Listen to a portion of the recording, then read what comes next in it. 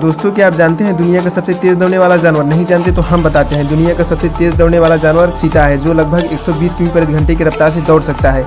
और यह तीन सेकंड में 120 किमी प्रति घंटे की रफ्तार हासिल भी कर लेता है और यह इसी रफ्तार से 40 सेकंड तक दौड़ सकता है यदि यह इंटरेस्टिंग फैक्ट जानकर आपको अच्छा लगा तो प्लीज़ भाई हमारे चैनल को सब्सक्राइब कर दो